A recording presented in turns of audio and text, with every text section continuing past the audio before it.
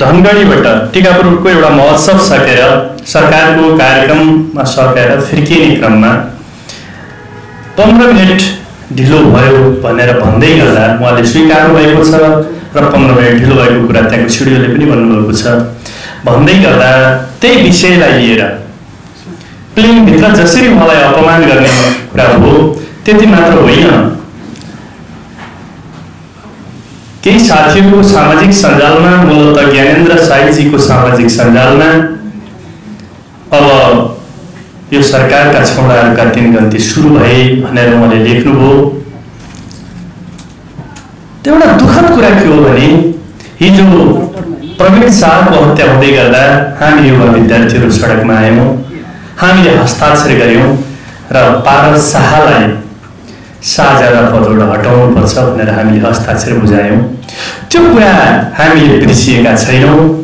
भन्दै तत्कालीन युवा नेता तत्कालीन विद्यार्थीको यो अभियानमा साथ दिइराख्नु भएको अभियन्ता हुनुहुन्थ्यो योगेश भट्टराई उहाँलाई त्यता समेत लक्षित गरियो।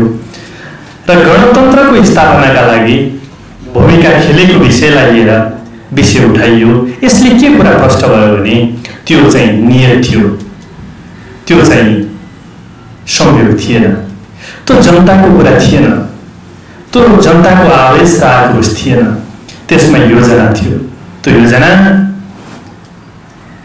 जनताका बिचमा लोकप्रिय नेताहरू योगेश भट्टराई लोकप्रिय हुनुहुन्छ यस मानेमा जनताका बिचमा लोकप्रिय नेताहरूलाई एक्सपोज गरिदिने त्यो एक्सपोज गरिसकेपछि जनताका बिचमा बन्धन गरिसकेपछि बिस्तारै व्यवस्थाका विरुद्ध जाने धेरै नेताहरूलाई एक्सपोज गरिराखिएको गरिराख्नु भएको छ ती मित्रहरूले।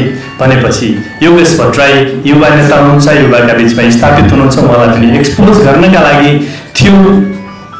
तर उहाँहरूको मुखबाट टङ्सिल भयो भित्री कुरा खुस्कियो पारसलाई साझाबाट हटाउँदाको पीडा उहाँहरूको मनमा रहँदैरहेछ लोकतान्त्रिक गणतन्त्र स्थापना भएपछि राजतन्त्र विदाय हुँदै गर्दा त्यति बेलाका राजतन्त्रका सामन्तवादको हन्डी खाएर बाँचेकाहरूको पीडा रहेछ जसका कारणले गर्दा त्यो कुरा त्यो अभिव्यक्ति हो र सत्य एक्सपोज हो। हामीले बारम्बार भन्ने गरेका छौँ बिचरा ज्ञानेन्द्र साईजी त के ज्ञानेन्द्र शाहलाई पनि हामीले ठेगाउ लगाएका हौँ। ज्ञानेन्द्र साईसँग कुनै हाम्रो वैरभाव छैन। बिचरा जुम्लाबाट हुर्किएर काठमाडौँमा आएर अलिअलि सामाजिक सञ्जालमा बेला बेलामा बोलेको मैले पनि कहिलेकाहीँ देखेको छु। सामाजिक सञ्जालतिर यसो फेसबुकमा कहिलेकाहीँ बोल्ने युट्युबतिर पनि यसो कुरा राख्ने र अलिअलि कसैले पैसा दियो भने देशी विदेशी प्रतिक्रियावादीहरू जसले त्यसलाई अस्थिरता चाहन्छन् त्यस्ता साथीहरूले अलिअलि पैसा दियो भने त्यही पैसाको बलमा आडमा त्यसैलाई बचाउनुको लागि नेपाली जनताको बलमा नेपाली जनताको व्यवस्था हो र स्थापित नेपाली जनताले गरेका हुन् यो जनताको व्यवस्था फेर्नका लागि यसरी हरकत हुन्छ भने जसले यो व्यवस्था ल्यायो ती हामी मेरो अघिल्लो पुस्ताका नेताहरू त हुँदै हुनुहुन्छ हामी त्यो आन्दोलनका सशक्त सिपाहीहरू छँदैछौँ यसको रक्षा गर्ने जिम्मा पनि हामी जनताहरूको हामी युवाहरूकै हो त्यस अर्थमा तिनी योद्धाहरूले लडेर ल्याएको व्यवस्था हामी सिपाहीहरूले लडेर ल्याएको व्यवस्थाको रक्षा गर्ने पनि हामी लोकतन्त्रका सिपाहीहरू गणतन्त्रका सिपाहीहरू अझै यही छौँ। त्यो भएको कारणले त्यो प्रवृत्ति त्यो प्रेतात्मा फेरि जागेर आयो भने ज्ञानेन्द्र साईलाई होइन अप्ठ्यारो ज्ञानेन्द्र शाहलाई पर्छ। ज्ञानेन्द्र साईलाई त आज पत्रकार साथीहरूले नै ठेगान लगाइदिनु भएछ हामी युवा विद्यार्थी जानै पर्दैन त्यस्तो कुरामा त। किन जानु पर्यो? हामी त्यो ज्ञानेन्द्र साईका मालिक चारवटाले जुठो कुरो खान्छन् ज्ञानेन्द्र साई। तिनका मालिक ज्ञानेन्द्र शाहलाई नै ठेगान लाउने मान्छेहरू त्यसको व्यवस्था राजतन्त्र सामन्तवादको सबैभन्दा माथिल्लो संरचना त्यसलाई फ्यालेर जनताको व्यवस्था कायम गर्ने मान्छेहरू भनेपछि बिचरा खेतला गोठालाहरूले लड्न त हामी पनि जानु पर्यो। यो युवा सङ्घले अनिरा सुब्यौले हामीले यस्ता काम गर्दैनौँ। हामी राजनीतिक वैचारिक रूपमै जनतालाई सचेत सचेत बनाउँछौँ। तर पत्रकार सम्मेलनमै उहाँमाथि धरपकड हो भनेर उहाँले नि अभिव्यक्ति दिनुभएछ अरू अभिव्यक्ति सुन्यो। त्यसले के जनाइरहेको छ भने पत्रकार सञ्जालमा त सुरक्षित नभएको मान्छे यदि साँच्चा साँच्चै ठुला गर्दै कुरा गर्ने हो भने जनताले प्रतिरोधता गरेका छन्। कुनै पनि नेपालको भूमिमा सुरक्षित हुँदैनन्। यदि साँच्चा साँच्चै यो व्यवस्थाका विरुद्धमा हो भने नेपाली युवाहरू कुनै पनि भूमिमा टेक्न दिँदैनन्।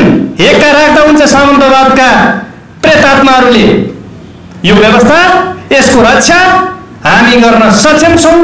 समृद्ध नेपाल र सुखी नेपाली बनाउने कष्टमा हामीले भनिरहेका छौँ समृद्ध नेपाल र सुखी नेपाली बनाउने हो। जति हाम्रो काम सरकारले गरे पनि किन विरोध भइरहेको छ? किनकि त्यो मृत सामन्तवादको प्रेत आत्माको एउटा अभियान छ जसरी पनि बदनाम गराउने र त्यसैलाई हो कि क्या हो भनेर मान्छे झोकिएका छन्। अब यसको कुरा राजनीतिक वैचारिक रूपमा अलिअलि प्रतिवाद गर्दा पुग्छ भन्ने कुरा मलाई लाग्छ र सामन्तवादको प्रेतात्मा नजाग्दा हुन्छ।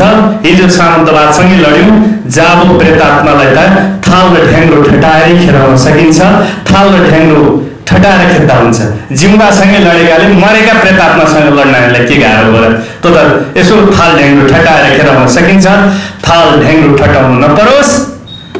त्यहाँ मासतिर नारायण भिटीबाट बिदा गरेर अलिकति मासतिर जङ्गलमा हामीले पुर्याएका छौँ। धेरै शासकहरूलाई गोली हानेर झुन्याइएर मारेको इतिहास हामीले क्रान्ति पश्चातको इतिहास हामीले पढेका छौँ तर नेपालमा शान्तिपूर्ण रूपमा लोकतान्त्रिक अधिकार प्रयोग गर्न पनि दिइएको छ। तपाईँ ज्ञानेन्द्र शाहजी तपाईँ ज्ञानेन्द्र साईहरूलाई चलाएर फेरि सत्तामा आउँछु भन्ने दुलो सपना देख्नुभएको भए यो तपाईँका लागि नि खतरा हुन्छ। यति कुरामा राख्दै अब कम्युनिस्ट पार्टीलाई समाप्त गर्छन् भनेर जसरी काङ्ग्रेसले सडक छोड्यो मूलत यो मुलुकमा काङ्ग्रेस पार्टी रहेन तपाईँहरूलाई एउटा कुरा भनौँ सडक प्रतिपक्षको जब यस्ता खाले प्रवृत्तिहरू सामन्तवादका प्रेतात्माहरू सडकमा आउने र सडक प्रतिपक्षको हो भन्ने र भन्दै गर्दाखेरि के हो त भन्दा त्यो काङ्ग्रेस तरुण दलहरूले त्यसैलाई केही एजेन्डा नभएर त्यसैको एजेन्डामा एउटा सानो केन्द्रमा कहिले रवि लामिछानेको केन्द्र समारोह पुग्ने कहिले डाक्टर केसीको त्यहाँबाट समाएर कुद्ने कहिले ज्ञानेन्द्र साईले पो हामीलाई पार पार दिइहाल्छ कि भनेर जसरी काङ्ग्रेस निवेशन तरुण दलहरू झुकिए जसका कारणले गर्दा आफ्नो अस्तित्वमा त्यो रहेन।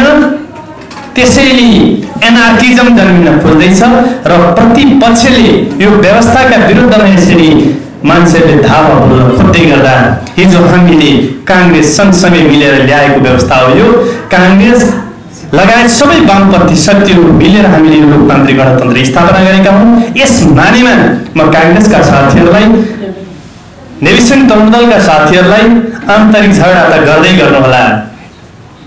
जिजङजी भूपेन्द्रजी लगायतका साथीहरू एउटाले अर्कालाई कारवाही गर्नेतिर होइन आन्तरिक झगडा त तपाईँहरू गर्दै गर्नुहोला। यो व्यवस्थाका विरुद्ध धाउ लाउनुहोस् यो व्यवस्थालाई सुदृढ बनाउने गरी फेरि हातेमालो गरौँ।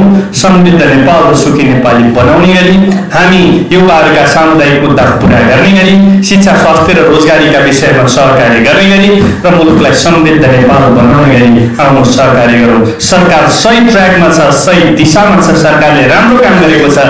कहिलेकाहीँ राम्रोलाई राम्रो पनि भन्न सिक्नुहोस्।